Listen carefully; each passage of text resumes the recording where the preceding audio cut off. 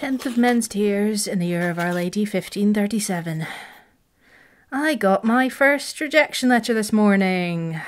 I'd almost forgotten that I'd sent out job applications in the first place. Squirm's quest for her powers has taken up quite a lot of my headspace recently.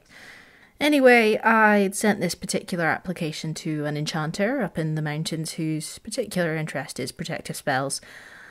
I suppose I should be glad that she had the courtesy to read my application, let alone reply. I knew I'd get a lot of rejections, but it doesn't make it any less dispiriting to get a letter like that, especially on a day like today. Squirm is insisting we go and visit the Trove this afternoon. I wanted to rest up a bit more, but she's incredibly impatient about the whole thing. I can understand it though. Must be tough for her being stuck with me, not able to do any magic or even fly. Though, uh, I have to say, even though she doesn't have any magic powers anymore, she's certainly got me under her thumb. I'm not even quite sure why that is. I could squish her flat in a moment, but she knows I wouldn't do that and she still hasn't let anything slip about her past. Despite all the time we spent together, I find her really hard to read. And if I were to guess why she got kicked out of the Gloamlight realm, I'd almost certainly get it wrong. But we might be a step closer to getting her powers back, at least if the Trove keeps up his end of the bargain and tells us what he knows. Having the Eye of Agnerhal delivered right to his tree should butter him up a bit. Hopefully.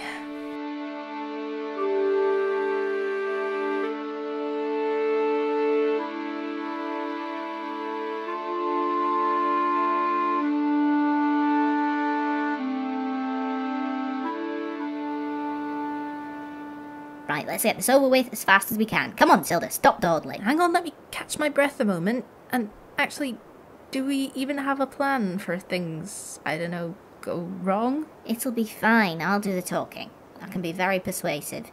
Just stay back, keep quiet, and don't fuck this up for me. Sure, okay. That sounds relatively simple. But are you sure? I'm positive. We made a deal. That giant squirrely bastard has to honour this deal, or else his word won't mean shit with anyone.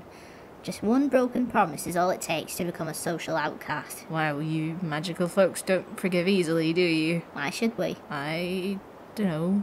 There's your answer. Now, get knocking on that tree and stop faffing about. All right.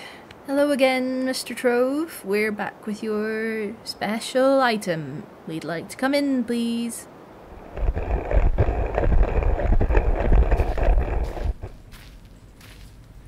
Is it possible that it's even darker in here than it was the first time? Stop being so bloody nervous, Silda. I've got this. Telling me to stop being nervous won't actually make me any less nervous, you know. That's not how this works. Shush. So, small ones, you have returned. I must say I'm surprised you aren't dead, or, at the very least, horribly maimed. Well, we're here, and we've got your bloody eye of Agnerhal. Now, cough up. How do I get my powers back? I can't possibly give you any information until the eye is in my paws. Now, come on, be reasonable. Silda, show him the eye. So you can see, we have it, but I'd rather not hand it over until we have the information we need. But I want the shiny ball. Give it here, I want it. Now, now, you have to honour our little bargain. How do I get my powers back? Fine. I must admit, I don't actually know exactly how you can get your powers back. You steaming pile of. But, but I know who can tell you. Kopa. She's a Selkie, and she lives on the Glittering Coast, a small fishing village. She's had plenty of dealings with the Fey folk and has quite an extensive knowledge of these matters. There. Now can I have the eye? What's the magic word? Got to be joking. No, I'm deadly serious. What's the magic word? Fine. Please. That wasn't so hard now, was it? Silda, give him the eye. Ah, finally, I have it. This is a most auspicious day. The day when I can possess, I, I um, uh, communicate with my friends. Yes, c- communicate with, with my friends. Did you just say possess? No, I I said nothing of the kind. You must be hearing things. This tree is very echoey. No, you definitely just said possess. Does that mean you're gonna take over people's bodies and make them do what you want? No, of course not. That would be bad.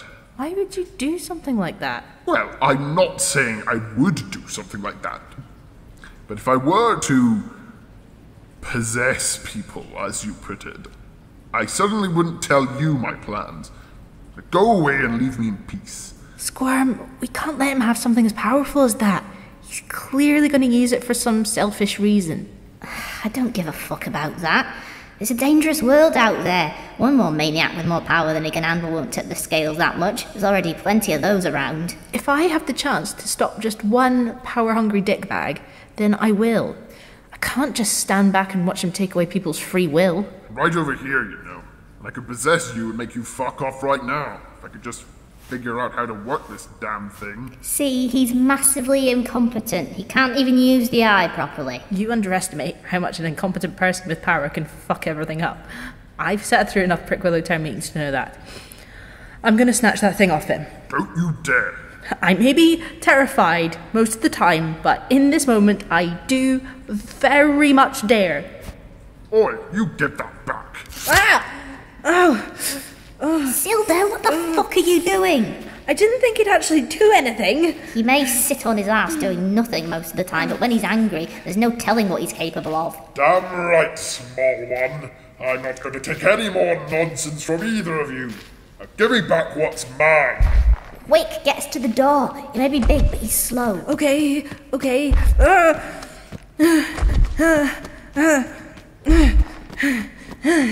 shit! Only the trove can open the door. You'll pay for taking my new toy away. Come on, Silda, transportation spell before he gets close enough to kill us both. Will it even work in here? What if he has wards like the Bureau? Only one way to find out. Lucha! God damn it. So close. Well, I think it's time for a rage nap.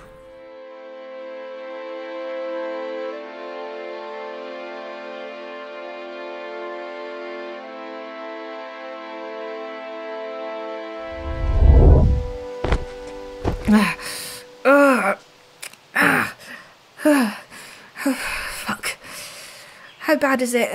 It looks pretty bad, but you'll live. Just need to get to a cleric and Prickwillow's sharpish. How will I explain this to my parents? And what do we do with the eye now? That's none of my beeswax. You'll have to figure that out for yourself. Great.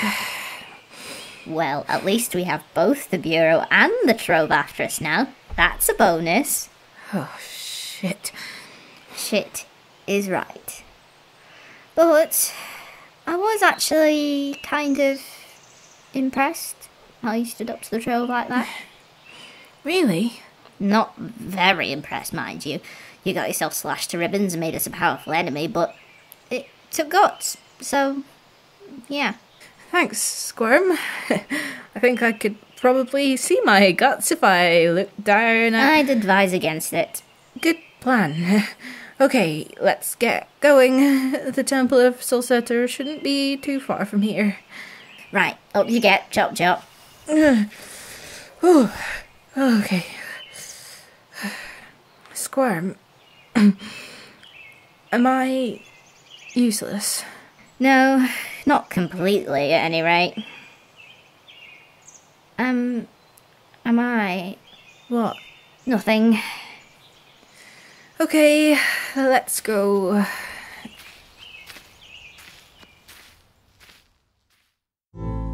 You have been listening to The Prickwillow Papers, Episode 7 Cunning Plans. This show is a Snazzy Tapir production. It was written and produced by Maddy Searle and performed by Maddy Searle and Lewis Robertson. If you'd like to support the Prickwillow Papers, follow the links in the show notes to find out more about our Patreon campaign, our Ko-fi page, and our merch on TeePublic. We hope you join us again soon.